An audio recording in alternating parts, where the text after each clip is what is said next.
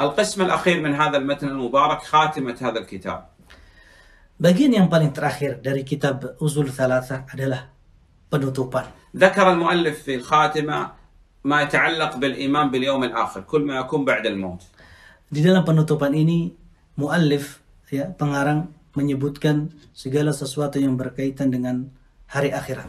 نعم وذكر أيضا وجوب الهجرة من بلد الكفر إلى بلد الإسلام باقية إلى قيام الساعة Dan juga menyebutkan di dalam kitab ini eh, tentang wajibnya hijrah dari negara kafir menuju kepada negara Islam dan hijrah ini masih ada sampai sampai hari kiamat. وذكر تعريف ابن القيم رحمه الله للطاغوت dan menyebutkan eh, definisi dari Ibnu Qayyim tentang makna taghut. نعم الطاغوت من الطغيان من التجاوز بعض الناس يتجاوز الحد في الأحجار والأشجار هذه أحجار وأشجار يعبدها من دون الله فقد جعلها طواغيت Taghut maknanya adalah berasal dari melampaui batas. Melampaui batas. Sebagian manusia menjadikan eh, pepohonan dan bebatuan melampaui dari batasannya. Mereka menyembah pohon dan batu yang itu bukan bukan haknya.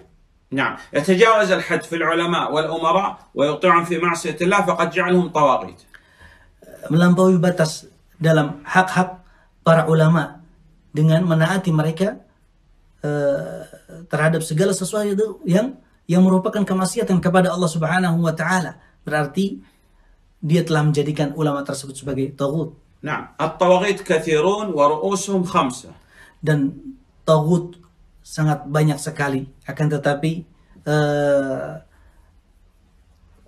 puncaknya memiliki empat memiliki lima lima bagian نعم الأول إبليس نعوذ بالله منه Eh, yang pertama adalah iblis naudzubillah min الثاني من عبد وهو راضي يعني جاء إنسان وسلم على آخر وسجد له أو ركع له وهذا رضي بهذا السجود أو بالركوع فهو طاغوت yang kedua adalah seseorang yang disembah selain Allah dengan dengan keriduannya jika seseorang meru- rukuk kepada dia sujud kepada dia sementara dia ridho terhadap perbuatan tersebut maka dia adalah seorang taghut نعم الثالث من دعا الناس إلى عبادة نفسه مثل فرعون Yang ketiga adalah seseorang yang menyeru manusia agar menyembahnya seperti Firaun. الرابع من ادعى شيئا من علم الغيب قال تقوم القيامة يوم كذا غدا يموت فلان غدا يفوز الفريق الفلاني كاذب وكافر نسأل الله في السلامة Yang keempat yang menyangka bahwa dirinya mengetahui alam gaib.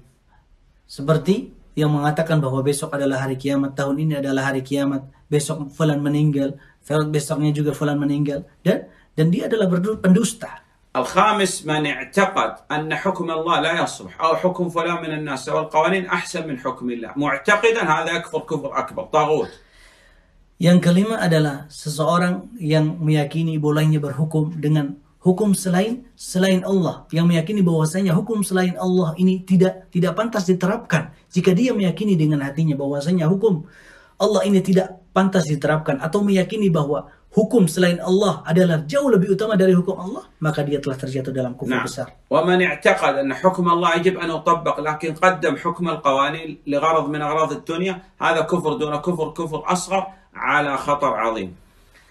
Nah, adapun seseorang yang berhukum kepada hukum selain Allah akan tetapi di dalam hatinya dia merasa bersalah, dia merasa dia merasa bersalah dan dia meyakini bahwasanya hukum Allah Subhanahu wa taala wajib dikedepankan.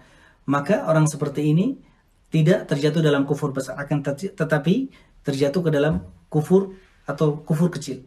نعم لابد أن نراجع هذا النظم هذا المتن المبارك ونحفظ الأدلة ونحفظ التقسيمات وما ذكر المؤلف فيه Wajib bagi kita semua seorang muslim untuk menghafalkan yang ada di dalam buku yang sangat berberkah ini ya menghafalkan dalil-dalilnya menghafalkan pembagian-pembagiannya terhadap tentang tentang tiga landasan utama ini والله أعلم وصلى الله على نبينا محمد وآله وصحبه وسلم جزاكم الله خير Wassallallahu ala- wassallallahu wasallam ala nabiyyina Muhammad